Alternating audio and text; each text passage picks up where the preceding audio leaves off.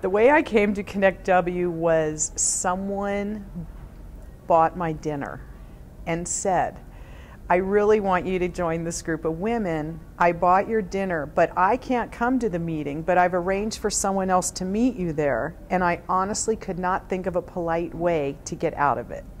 And so I came dragging my feet. A women's networking group was just not my idea of a good time. And I was pleasantly surprised. I said, you know what? I'm going to go have fun.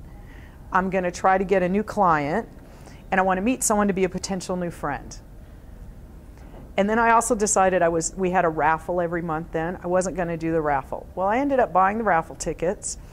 I made a new friend who today is one of my best friends in Bend, and I had 3 clients within a week.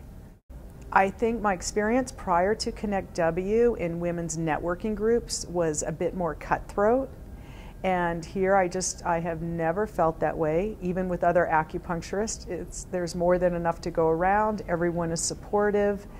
There's enough different women and types of women that you will find your group. I don't find it really cliquish. I find it open and friendly.